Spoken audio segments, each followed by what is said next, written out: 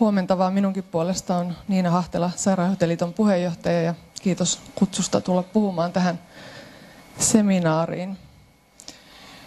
Mulla oli otsikkona teknologia-asiakkaan osallisuutta tukemassa. Sähköiset palvelut on osa sairaanhoitajan työtä, niin kuin se nyt tänä päivänä jo onkin. Tässä vähän tätä esityksen sisältöä, eli pieni katsaus ensin tähän terveydenhuollon tulevaisuusnäkymiin ja sitten kerron vähän meidän omille sairaanhoitajille tehdystä kyselystä, sitten tästä e-terveydenhuollosta ja vähän muutama sana robotiikasta myös.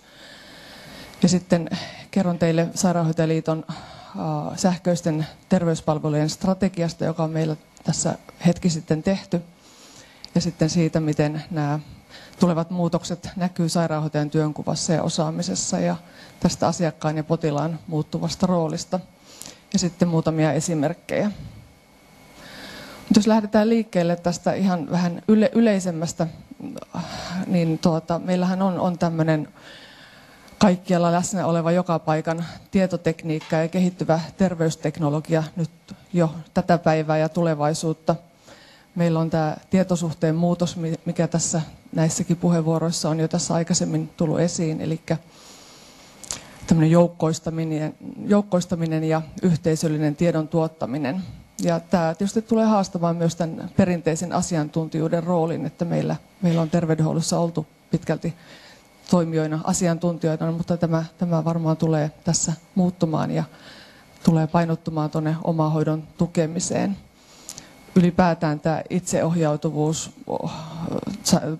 potilaiden asiakkaiden itseohjautuvuus. Siitähän meillä on meidän tuota, tulevaisuustutkijat paljon puhuneet, että miten, miten tota, tämä on itse asiassa jo nyt tuottanut sen suurimman terveyshyödyn ja varmasti se, se jatkossakin tulee olemaan, että asiakkailla ja potilailla on, on iso rooli tässä omassa terveydenhoidossaan ja hyvinvoinnissaan. Meille tulee varmasti tämä tämmöinen kaiken aikaa läsnä oleva mittaaminen lisääntymään ja tietysti toivottavasti se on semmoista, mikä ei, ei hirvittävästi kuormita meitä, vaan, vaan tota, se tapahtuu vähän niin kuin automaattisesti. Äh, puhutaan paljon ennaltaehkäisyn, että painopiste menee ennaltaehkäisyyn, ja tämmöisiä suurimpia terveysuhkia on, on varmasti ylipaino ja siihen liittyvät sairaudet. Ja niissä tietysti terveydenhuollon, ja nyt puhun tietysti sairaanhoitajista tässä, tässä niin heillä on iso rooli sitten tässä näiden tota, terveyshaittojen ehkäisyssä. Meillä on, on lisääntyvä vanhusväestö ja krooniset taudit, jotka, joissa myös tota, on paljon hoitohenkilökuntaa näitä, näitä hoitamassa, eli tämä hoitajakeskeisyys varmasti tulee jatkossakin lisääntymään. Ja me tarvitaan varmasti tarkastella näitä meidän ammatti, ammattien välisiä rakenteita uudestaan ja miettiä, että miten näitä tehtäviä kannattaa jakaa. Ja tämä tämmöinen verkostomainen toimintatapa on varmasti semmoinen, joka, joka tulee lisääntymään ja niitä räätälöidään sitten yksilöllisesti.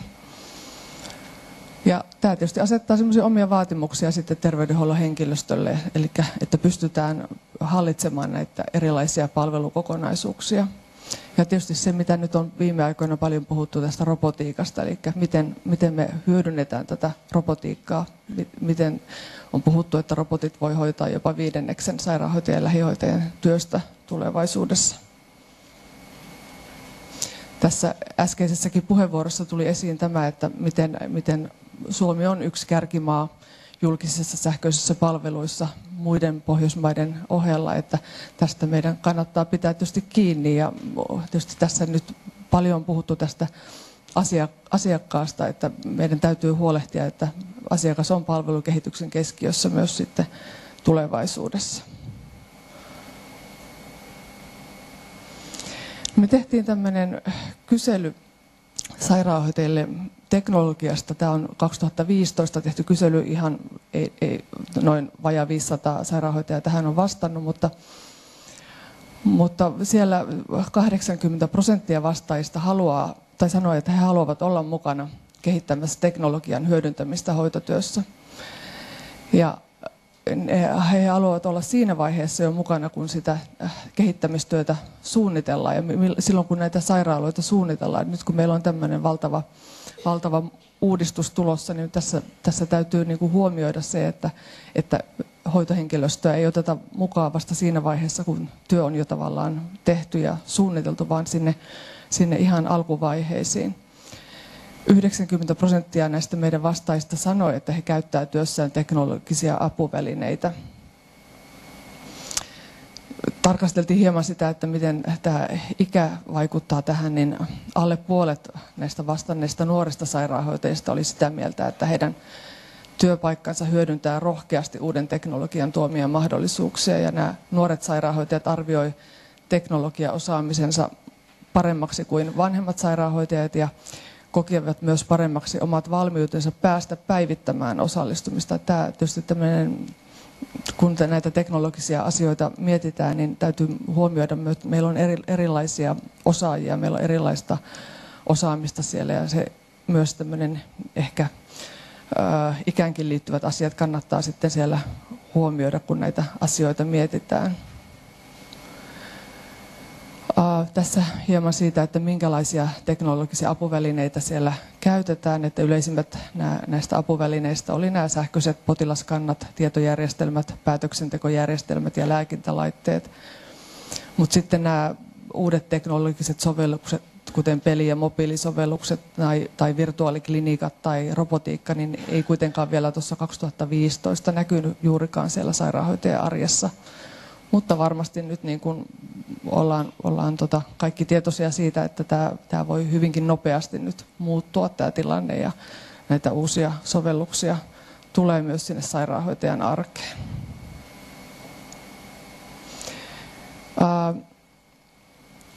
Sitten tästä iästä vielä, niin suhtautuminen tähän teknologiaan niin vaihteli selkeästi näissä ikäryhmissä.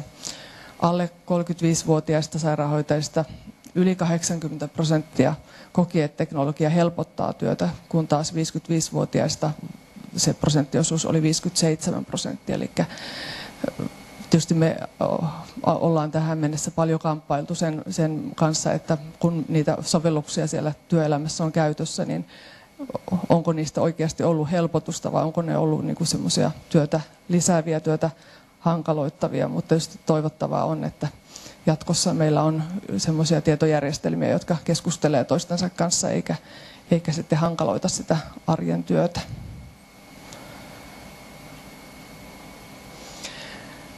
No tässä tämmöinen sana, sanapilvi, joka tietysti osoittaa sen, että näitä tämä, nämä sähköiset terveyspalvelut kattaa suuren määrän erilaisia menetelmiä ja toimintatapoja. Lähinnä vaan ehkä tämmöisen ajatuksen virittelijänä tässä.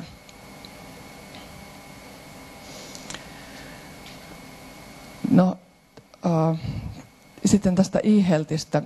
Se tosiaan tässä käsittää sen, että terveydenhuoltohenkilöstön ja asiakkaan terveyteen liittyvän tiedonhankinnan ja tuottamisen tieto- ja viestintäteknologiaa hyödyntäen. Mutta tässä niin kuin varmasti tärkeintä on se tapa, että se muuttaa sitä tapaa ajatella ja suhtautumista ja sitoutumista siihen verkostomaiseen ja globaaliin ajattelutapaan, jolla tietysti tavoitellaan parempaa parantaa terveydenhoitoa käyttäen tieto- ja viestintäteknologiaa paikallisesti, alueellisesti ja maailmanlaajuisesti. Nämä on tietysti ihan teille varmasti ihan tuttuja asioita tässä vielä, että mitä kaikkea tämä pieni e-kirja nyt pitää sisällään. Pitää sisällään tehokkuuden, ajatuksen tehokkuudesta, la, hoidon laadun parantamisesta, näyttöön perustavasta terveydenhuollosta, voimaantumisen tukemisesta, koulutuksesta, tiedonvaihdon ja kommunikaation mahdollistamisesta, terveydenhuollon laajentamisesta yli rajojen, myös etiikka ja oikeudenmukaisuus kuuluu tähän pieneen e-kirjaimeen tässä sähköisessä terveydenhuollossa. Tuossa alkuun sanoin, että sanon muutama sana myös robotiikasta. Tässä, jos puhutaan, että miten, miten robotiikka sitä asiakkaan osallisuutta tukee, niin tietysti tässä on, on myös se hyvä mahdollisuus, jos me mietitään niitä kotiin vietäviä palveluita, kotona pärjäämistä pidempään, niin meillä, meillä on, on olemassa jo sellaista teknologiaa, joka mahdollistaa sen, että, että siellä kotona voidaan olla pidempään tai sitten, että kotiutus sairaalahoidon jälkeen esimerkiksi on mahdollista siellä, siellä tota, kotona. Mutta tietysti sitten meillä on tätä robotiikkaa, joka sitten auttaa siellä sairaalaympäristössä ja mahdollistaa sitten taas sairaanhoitajille esimerkiksi sen, että he pystyvät sitten keskittymään paremmin siihen tai enemmän siihen potilaan välittömään hoitotyöhön. Et meillä on, on tutkimuksia, jossa, tai ihan tilastoja siitä, että miten paljon esimerkiksi sairaanhoitajat käyttää työpäivänsä aikana aikaa siihen, että he siirtyy paikasta toiseen, hakevat siis esimerkiksi sänkyjä tai muita tavaroita, niin noin 20 prosenttia työajasta voi mennä siihen, että, että haetaan, siirrellään tavaroita paikasta toiseen ilman, että siinä on siis potilasta mukana. Ei, ole, ei puhuta potilassiirrosta, vaan ihan tämmöisestä tavaroiden ja asioiden hakemisesta. Tässä on, on, on tosiaan semmoisia mahdollisuuksia sekä asiakkaalle että, että hoitohenkilöstölle hyödyntää tätä robotiikkaa. Ja tämä Evan raportti, joka tuli tässä hiljattain, niin tosiaan totesi, että sairaanhoitajien ja lähihoitajien työstä voitaisiin noin viidennes korvata robotiikalla. Se tietysti voi herättää niitä tunteita, että viedäänkö työpaikat, mutta lähinnä tässä, tässä nyt ajatuksena on se, että silloin sitä voidaan kohdentaa paremmin siihen potilashoitotyöhön. Se, se työaika, joka muuten menisi tähän äh, juuri näihin siirtymisiin tai muihin tämmöisiin, ei, ei siihen välittömään hoitotyöhön, niin tuota, nyt voidaan robotiikan avulla sitten kohdentaa paremmin siihen potilaalle lisäarvoa tuottaviin toimintoihin. Mutta niin kuin tuossa aikaisemmin totesin, niin erittäin tärkeää tässä on, että, että hoitohenkilöstö on mukana siinä uuden teknologian kehittämistyössä. Että roboteilla he, niistä voi olla apua tähän, mutta että ne ei koskaan korvaa tätä ihmisten välistä inhimillistä vuorovaikutusta. Sairaanhoitajaliitossa on tehty Sairaanhoitajaliiton tämmöinen terveyspalveluiden strategia vuosille 2015-2020. Tämä löytyy meidän verkkosivuilta. PDF-versiona voi, sen voi käydä sieltä tulostamassa, jos, jos tämä kiinnostaa. Siinä missiona on, että sairaanhoitaja kehittää ja käyttää sähköisiä terveyspalveluja asiakkaiden sairaanhoidossa, kuntoutuksessa, kärsimyksen lievittämisessä, terveyden edistämisessä ja kansalaisten hyvinvoinnin lisäämisessä. Meillä on visio, että sairaanhoitajat ovat rohkeita toimintatapojen uudistajia, joilla on osaamista käyttää ja kehittää sähköisiä terveyspalveluita moniammatillisesti yhteistyössä asiakkaan ja muiden toimijoiden kanssa. Tämä sähköinen terveyspalvelujen strategia koostuu kuudesta eri osa-alueesta, joita on, on teknologia asiakkaan osallisuutta tukemassa, sähköiset palvelut osa sairaanhoitajan työtä, eettiset toimintamallit sähköisissä terveyspalveluissa, sähköiset terveyspalvelut ja osaaminen, sähköisten terveyspalvelujen johtaminen ja terve, terveyspalvelujen digita- digitalisaation tukeminen ja kehittäminen.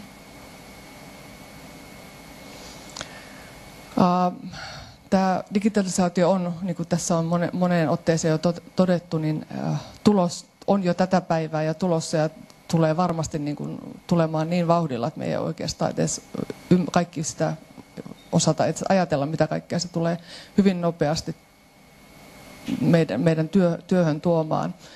Ja, ja tu, tulee tuomaan tosiaan vaatimuksia siihen koulutukseen ja siihen ammattiosaamiseen. Me ollaan mietitty, että ammattilaisten tämä kliininen osaaminen muuttuu varmasti, koska teknologia muuttaa ne välineet kliiniseen tutkimiseen. Ja koulutuksessa haasteena on, että ammattilaiset eivät saa hukata tätä hands-on kliinistä osaamista ja päättelykykyä, vaikka se teknologia on yhä enemmän sitä arkipäivää. Ja tämä tietysti täytyy ratkaista sitten siinä koulutuksessa. Meillä on sairaanhoitajakoulutukseen ihan vastikään tehty ydinosaamisalueet, yhdeksän osaamisaluetta, ja näissä kaikissa tämä e-terveydenhuolto tietysti täytyy olla mukana. Se ei ole niin yksittä, mikään erillinen osa, vaan kuuluu ihan olennaisesti näihin kaikkiin osaamisalueisiin. Tavoitteena on, että tämä hoitotyön tiedonhallinnan tulee kulkea läpi koko tämän hoitotyön opetussuunnitelman siellä sairaanhoitajakoulutuksessa. Ja siellä tulee saada perustaidot teknologian käytöstä, data- ja informaation lukutaito, tietohallinnon ja tietotekniikan prosessien ymmärrys jo siellä opiskeluaikana. Ja työ, työelämässä olevilla sairaanhoitajilla täytyy olla perustaidot, tiedot, taidot ja osaaminen, asenne ja tahtotila, jotta hän voi käyttää näitä tieto- ja viestintätekniikkaa tehokkaasti ja vastuullisesti. Mutta tietysti tässä meillä on, on myös haasteet täydennyskoulutukselle ja siitä meidän täytyy niin yhteisesti pitää hy- hyvä huoli, että meidän hoitohenkilöstö pääsee täydennyskoulutukseen. Ja me tarvitaan tiedonhallinnan urapolku sairaanhoitajille, että he voivat toimia tiedonhallinnan asiantuntijatehtävissä niin kliinisessä työssä, opetuksessa kuin tutkimuksessakin. Ja meillähän näitä tämmöisiä urapolkuja tietenkin jo nyt on, mutta meidän täytyy varmistaa, että meidän sairaanhoitajilla ja hoitohenkilöstöllä on mahdollisuus lähteä myös kehittämään sitä omaa osaamista, syventämään sitä omaa osaamista myös tiedon, sähköiseen tiedonhallintaan. No sitten tästä asiakkaiden ja ammattilaisten muuttuvista rooleista. Täällä aikaisemminkin puhuttiin jo tästä terveydenhuollon kulttuurin muutoksesta. Ja tässä varmasti tulee semmoinen iso muutos kulttuuri, kulttuurisesti, eli meidän täytyy ehdottomasti muistaa, että asiakas ja potilas on keskiössä. Se, tällä hetkellä se ei välttämättä aina ihan näin ole ollut, mutta tulevaisuudessa tämä rooli, rooli varmasti muuttuu. Asiakkailla on enemmän valinnanvapautta, heidän, heillä on aktiivisempi rooli siinä omassa terveyden, terveydenhuollossaan ja siinä hyvinvoinnissaan. Ne omat terveysvalinnat korostuvat ja asiakkaan osallisuus, omahoito ja terveyden edistäminen ja ylläpitäminen liittyvät tähän. Että ammattilaisten rooli on auttaa tavoitteiden asettamisessa ja niiden saavuttamisessa. Tämmöinen mentorointi ja valmentaminen ja kumppanina oleminen on, on niitä asioita, mitä sairaanhoitajan työssäkin varmasti tulee korostumaan. Ja nämä personoidut hoidot ja, ja palvelut tulee olemaan tulevaisuutta. Ja tämmöinen kaiken aikaa läsnä oleva mittaaminen, mistä äsken tuossa jo mainitsin, niin sitä varmasti asiakkaat tekee, mutta se sitten näiden tulosten tulkinta on varmasti sitten ammattilaisten, ammattilaisten tota, vastuulla pitkälti. Me tarvitaan, meillä on tarvetta tämmöisiin vaihteleviin vuorovaikutustaitoihin ja varmasti nämä tämmöiset ei, ei kasvokkain tapahtuvat tapaamiset tulee lisääntymään tulevaisuudessa. Kansalaisilla itsellä on aikaisempaa suurempi rooli terveytensä ylläpidossa ja sairauksien hoidossa tulevaisuudessa. Ja tämä, tämä vaikuttaa tietenkin sitten tähän asiakkaan ja sairaanhoitajan väliseen suhteeseen. Se, että asiakas saa kaiken itseään koskevan tiedon ja osallistuu vertaisena itseään koskevaan päätöksentekoon ja asiakas tuottaa myös itse, itse sitä omaa tietoa, ne tulee tietysti muuttamaan tätä suhdetta. Mutta terveystiedon lukutaitoa ei tarvitse pelkästään potilaat, sitä tarvitsee tietenkin myös sairaanhoitajat ja terveydenhuollon ammattilaiset. Teknologian avulla voidaan koordinoida asiakkaiden hoitoa ja luoda verkostoja yli palvelujen tuottajien rajojen ja yli hallintorajojen ja tietysti jopa yli maan rajojen sitten tulevaisuudessa entistä paremmin.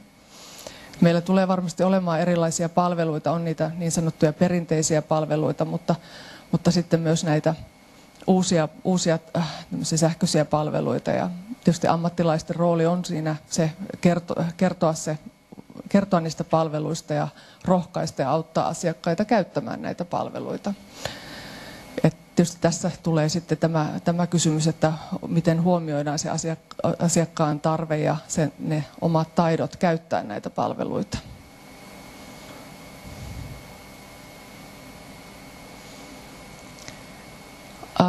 Meillä entistä enemmän tulisi kiinnittää huomiota tähän näyttöön perustuvaan hoitoon.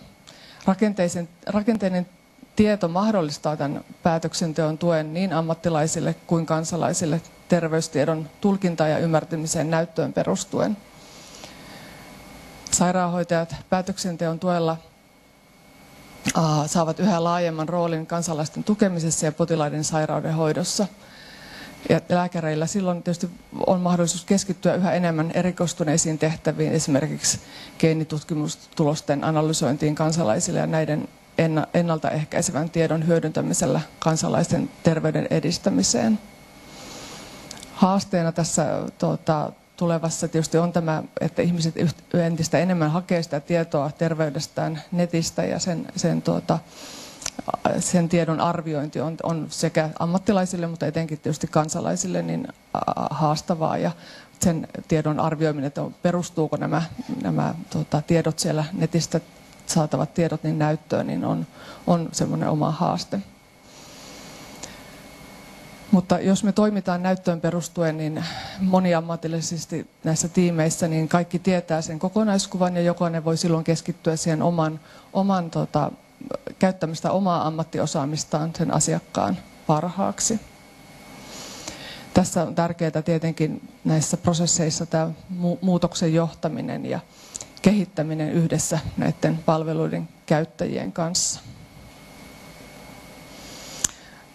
Tässä STMn kalvo, jossa, jossa kuvataan tätä suhdetta, eli kansalainen tässä on semmoisessa roolissa, että hän pystyy, pystyy tosiaan itse, itse tuota, tekemään monia asioita. Meillä on palvelujärjestelmä, joiden raja, me tiedetään, että ne resurssit siellä on rajalliset, mutta ne täytyy sitten saada oikeaan käyttöön. Ja ammattilaiset täällä, tota, täytyy, heillä täytyy olla sitten sellaiset järjestelmät, jotka varmasti toimii. Meillä on tietysti tukena tässä toimiva infra, infrastruktuuri, tietohallinnon ohjaus ja yhteistyö ja tiedon jalostaminen ja tiedolla johtaminen korostuu. Tässä on hieman esimerkkiä siitä, että miten tulevaisuuden palvelut kansalaisten näkökulmasta niin kuin sairaanhoitajan työssä näkyy. Meillä tulee olemaan tämmöisiä sähköisiä 24H-tuntia, 24H auki olevat palvelut. Meillä on kotiin tarjottavia palveluita, liikkuvia palveluita, lähellä tarjottavia palveluita, mutta sitten me tarvitaan tämmöisiä alueellisesti keskitettyjä palveluita ja kansallisesti keskitettyjä palveluita. Täällä korostuu sähköinen neuvonta ja seuranta, asiantuntijasairaanhoitajan konsultaatiot, sairaanhoitajan kotikäynnit ja tämmöinen hakeva ja etsivä työote sairaanhoitajan työssä varmasti tulee korostumaan. Edelleen tämmöinen ohjaustehtävä, sairaanhoitajan vastaanotot, vastuuhoitajamallit. Me tarvitaan tämmöisiä liikkuvia sairaanhoitajan vastaanottoja – hakevaa ja etsivää työotetta myös näissä liikkuvissa palveluissa. Täällä sitten tarvitaan myös hoidon kiireellisyyden arvioita, kotiutustehtäviä, sairaanhoitajan vastaanottoja, hoitotyön kliinisen asiantuntijan tehtäviä ja hoitotyö- ja hoitotieteen kliinisen asiantuntijan tehtäviä myös tulevaisuudessa. Sitten ihan tälleen esimerkkinä vielä teille on varmasti tuttu ODA, ODA-hanke ja tässä, tässä tietysti luodaan sellaista palvelua, jonka avulla asiakkaat saa analyysin omasta terveydentilasta ja hyvinvoinnista ja niiden liittyvä, liittyvän riskiarvion. Ja tämä, tässä hankkeessahan asiakkaat voi tehdä itseään koskevan hoidon ja palvelutarpeen arvioinnin ja laatia oman hyvinvointisuunnitelman yhdessä ammattilaisten kanssa. Ja tämä visio, mitä tässä ODA-hankkeessa tuodaan, niin tietysti muuttaa, muuttaa hyvin paljon sitä miten me ajatellaan, että missä asiakas on, miten pompotellaanko asiakasta vai, vai pääseekö asiakas sitten sujuvasti palveluiden piiriin. Oda-hankkeesta vielä sen verran tosiaan, että siellä tämä joustavuus, ajasta ja paikasta riippumattomuus, jatkuva seuranta, enemmän vaihtoehtoja on ja no, on nopeus ja oma vaikuttaminen, sujuvat palvelut, helppous ja läpinäkyvyys tässä palvelussa korostuvat. Ja ihan lopuksi haluan todeta se, että näitä kaikkia teknologisia apuvälineitä tulee kehittää niiden käyttäjien mukaan, jotka hallitsevat käytön ja saada siten uusia palveluita ja tapoja toimia. Mutta sen jälkeen on mietittävä, että miten sama palvelu voidaan mahdollisesti saada tuettuna esimerkiksi ikäihmisten käyttöön. Ja se on tärkeää, että me ammattilaiset ei voida olla näiden osaavien kansalaisten käytön esteenä. Kiitos. Joo, kiitoksia Ninalle. Lyhyt kysymys ehditään ottaa tähän vielä ennen kuin pidetään sitten tauko. Siellä on Päivillä käsi pystyssä. Onko mikkiä Päiville?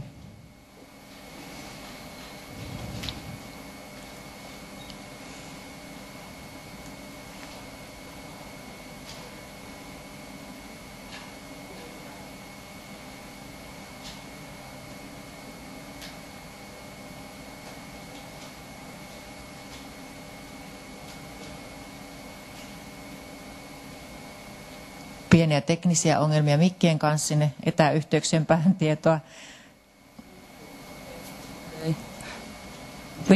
Nyt kuuluu ja alkaa kiertää.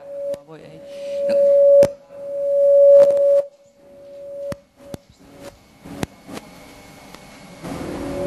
Tuon mikin saa heittää jonnekin. Ei käytetä sitä enää. No nyt kuuluu, joo. Nyt kuuluu. Kiitos, oli tosi mielenkiintoinen esitys. oikeastaan mä haluaisin kysyä yhden kysymyksen ja, ja kommentoida siihen edellisenkin, mitä keskusteltiin tuossa. Sulla oli se kiinnostava tutkimus siinä, niin tuliko siinä näkyviin mitenkään se yritysten niin kuin näkökulma? Kysyn tätä siksi, kun on operista ja vastaan näistä yksityisten käyttöönottojen tukeen liittyvistä asioista, niin heräs vain kysymys siinä, että tuliko siinä niin kuin sen yleisen digitalisaatiokyselyn pohjalta mitään eroja yksityisten ja julkisten välillä, tai sanotaanko pienten ja suurten sitten? Joo, tämä kysely, ja siinä ei oikeastaan, se oli niin pienellä aineistolla meidän jäsenistöstä, että siinä, siinä se ei noussut, mutta nämä, nämä kysymykset, mitä tuossa äsken esitin näistä yksityisistä ammattiharjoittajista, ne tulee meille enemmän niin kuin ihan yksittäisinä puhelinsoittoina. Esimerkiksi Sairaanhoitajaliittoon, nämä meidän yrittäjäsairaanhoitajat ottaa yhteyttä. Että se ei tässä kyselyssä sinällään noussut esiin. Niin just joo, eli se on tavallaan yksi osa sitten tota, tietenkin digitalisaatio. Niin mä voin siinä oikeastaan täsmentää vielä, mitä tässä puhuttiinkin, että meillähän on kuukausittain semmoiset liittymisvalmistelutukitilaisuudet, missä mun mielestä teidänkin yrittäjä on ollut ja tietysti on tehty teidän yrittäjän jäsenten kanssa töitä niin kuin sitten, että he on meidän verkostoissa kyllä mukana, että sillä tavalla voin niin kuin huojentaa, että kyllä me heistäkin huolehditaan ja tiedetään, tunnistetaan tämä ongelma, mikä oikeastaan koskee tietysti kaikkien toimialojen ammattiharjoittajia, että kyllä me siihen paneudutaan. Hyvä, kiitoksia, kiitoksia Ninalle ja, ja tuota, nyt pidetään sitten tuota, 10 minuutin tauko. Ja nyt kysyn oikeastaan Juha Tuomiselta, että sopiiko me pikkusen aikataulusta jäljessä, jos viisi yli viisi minuuttia nipistetään. Siinä oli aika hyvin aikaa. Hyvä. Juha lupasi. lupas. Eli tullaan tähän takaisin, eli viisi minuuttia yli 11, niin pidetään se 10 minuutin pikkutauko.